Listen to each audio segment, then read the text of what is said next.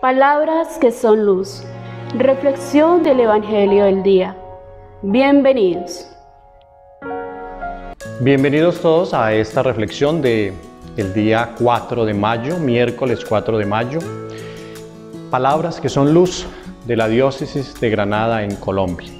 En este miércoles 4 de mayo, el Evangelio de Juan en el capítulo 6 nos invita a reflexionar sobre el diálogo de Jesús con Felipe, porque hoy celebramos la fiesta de dos apóstoles, Felipe y Santiago, mártires. Eh, Jesús le dice a sus discípulos, yo soy el camino, la verdad y la vida, el que me ve a mí ve al Padre, el que cree en mí cree en el Padre. Y Felipe le pregunta, muéstranos al Padre, ¿dónde está el Padre Dios? Muéstranoslo para verlo, para creer. Y Jesús le dice, ¿tanto tiempo de estar con ustedes, Felipe, y no me conoces? ¿Dónde está el Padre? Muchos de nosotros queremos ver a Dios. Muchos de nosotros se preguntan, ¿dónde está Dios? Ese también era el deseo de esa época, era el deseo de los discípulos, ver a Dios, encontrarse con Dios. Pero ahí está, Jesús es Dios.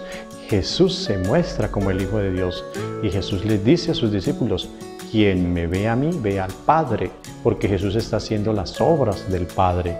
Jesús está sanando, Jesús está liberando, Jesús está pasando por muchas comunidades, Jesús está pasando por muchas vidas y cuando nosotros nos encontramos con Jesús, cuando nosotros nos dejamos encontrar con Jesús, cuando nosotros vamos a la Eucaristía, cuando nosotros nos confesamos, cuando nosotros comulgamos, cuando nosotros oramos y le pedimos a Jesús, encontramos esa paz, encontramos ese consuelo que es la paz de Dios. Dios no está lejos de nosotros, está muy cerca de nosotros y Jesús ha venido para eso, para mostrarnos las obras de su Padre para mostrarnos las obras de Dios.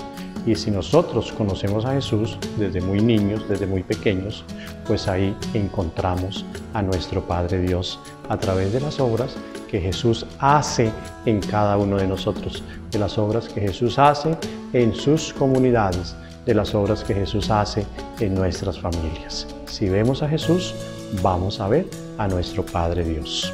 Dios los bendiga en este día, miércoles 4 de mayo. Palabras que son luz. Reflexión del Evangelio del día.